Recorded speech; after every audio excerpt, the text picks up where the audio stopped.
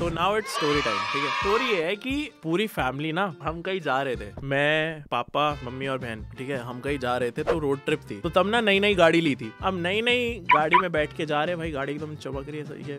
तो जा रहे जा रहे। रास्ते में पड़ा मैकडोनल्ड्स ड्राइव थ्रू तो हम वहाँ सोच रहे हैं कि भाई चलो, कुछ खाते हुए ले, खाने के लिए ले लेते हैं, ठीक है? वहाँ पे लंच मतलब ऐसी ड्राइव थ्रू से लेते हुए चल जाते हैं, ठीक है? तो मैं गाड़ी चला रहा था। आगे फ्रंट में साइड में मेरे पापा बैठे हुए, पीछे मम्मी और बहन बैठे हुए, ठीक है? तो मैं चला रहा गाड़ी ड्राइव थ्रू में लगाई, सबने अपने खाने पीने का ऑर्डर करा। तो पापा ने बोला, यार मेरे लिए कोल्ड कॉफ़ी कर दे, मैं कुछ खाऊँगा तो हूँ नहीं। ठीक है बस एक कोल्ड कॉफ़ी कर दे मेरे लिए, मैं वो पी लूँगा। ठीक है, हम सब खाना वाना हमने लेके तो हम ड्राइव थ्रू से निकले तो पापा ने बोला, यही रोक ले साइड में खाते खाते तो कैसे चलाएगा गाड़ी? पहले खा लेते हैं, फिर चलते तो हमने ऐसी गाड़ी पार्क करी हम खा रहे ठीक है। मानेसर साइड जाते हैं एक है बीच में, काफ़ी बड़ा मैकडोनल्ड्स है, काफ़ी पुराना। तो उसके ड्राइव थ्रू में, उस वाले मैकडोनल्ड्स की बात है, वहाँ पे थे। तो ऐसी साइड में गाड़ी लगाई तो साइड में ना ऐसे सफ़ाई वगैरह चल रही थी। वहाँ पे ट्रक्स वगैरह काफ़ी पार्क होते हैं तो वहाँ पे कोई लड़का सफ़ाई कर रहा था। तो वो पहले सफ़ाई कर रहा था, फिर सफ़ाई वगैरह करते करते कपड़ा लेके आ गया हमारे पास। हमारे पास आ गया ना, पहले उसने शीशे पे नॉक करा। उसने दो तीन मिनट भाई कंटिन्यूसली नॉक करा है कि भाई, बोल रहा था कि मैं वो खाना दे दो या पैसे दे दो। लाइक वो भीख मांगने लग गया था। ट्रक साफ़ करने से वो सीधा आ गया था भीख मांगने पे कि भाई तेरे पास एक काम है तू वो छोड़ के यहाँ पे फ्री में पैसे मांगना आ गया है। ये चीज़ ऑफ़ है। लग, मेरे को मेरे को भी लगी थी ऑफ़ ठीक है? तो वो कर रहा है तो हम इग्नोर कर रहे हैं हम उसे बोल भी रहे कि चला जाए वो ठीक है? पापा शीशा खोल रहे थे वो उन्होंने बोला था कि यार कुछ दे दे इसको खाने के लिए ये वो। तो पापा ना वो शीशा खोल रहे थे। जैसे जैसे शीशा खोल रहा था ना उसके हाथ में कुछ था। तो वो ना गाड़ी पे ऐसे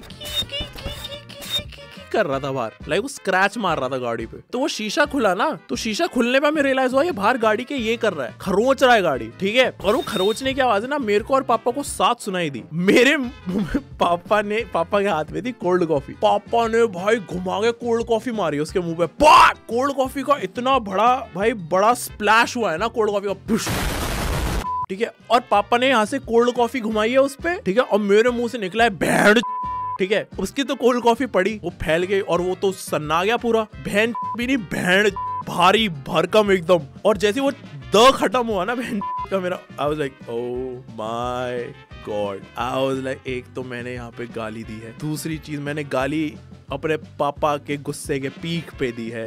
मैं ऐसे बैठा हुआ, पापा बाहर देख रहे थे अपनी खिड़की के, मैं भी उस खिड़की के बाहर देख रहा और मैं जैसी बहन बोला ना, मैं पीछे घूमा, पीछे मम्मी बैठी मम्मी ऐसे, मम्मी वॉज़ लाइक ये तो गया, वो बच्चा बाहर जो गाड़ी स्क्रैच कर रहा था, वो वो तो छोड़ो, रोहन गया। गाड़ी में अगले पाँच मिनट सन्नाटा, पिन ड्रॉप साइलेंस। वो शीशे खुले हुए थे, बाहर हवाएँ चलने की आवाज़ सुनाई दे रही है हमें। पत्ते फटफट फट कर रहे, फड़फड़ा रहे हैं, बाहर हवा हवा सुन रही है हमें। इतना सन्नाटा है गाड़ी में, पाँच मिनट। ठीक है, और पता है फनी चीज़ क्या थी? कि मैं तो कुछ नहीं खा रहा था। फिर मेरी तो फटी पड़ी थी, मैं, अब पापा का लपड़ आएगा साइड से, गाली देता है ये वो। मैं तो रेडी बैठा था। मेरे गाल अंदर से वार्म अप हो चुके थे थप्पड़ के लिए। मैं पाँच मिनट तक, मैं ऐसे था कि पाँच मिनट कभी भी ऐसे सरप्राइज़ आएगा एकदम से। ठीक है, सीधा पटाख पड़ेगा। मैं चुपचाप बैठा हुआ पापा भी चुपचाप है। ठीक है, और पीछे से मम्मी और बहन मैकडोनल्ड्स खा रहे पीछे।